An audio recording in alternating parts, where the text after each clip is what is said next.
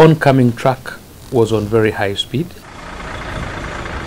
Watu kumi na watatu waangamia katika ajali ya barabarani huko Awasi, kaunti ya Kisumu. Maiti ya dadake mbunge wa Kidhunguri apatikana ikining'inia chumbani huku mumewe akitoa nguvuni.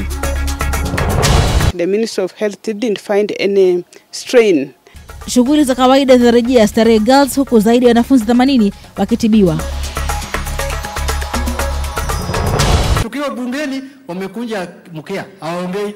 Ndani ya bunge wanaangalia sisi tukiongea tu kama sinema. Songo, si ni kweli? We are together.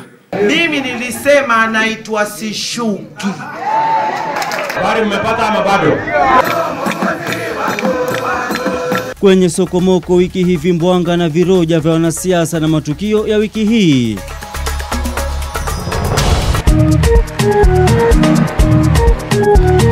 Na usipitwe na mahanja ya muziki wa kundi la sarakasi kwenye gumzo la burudani.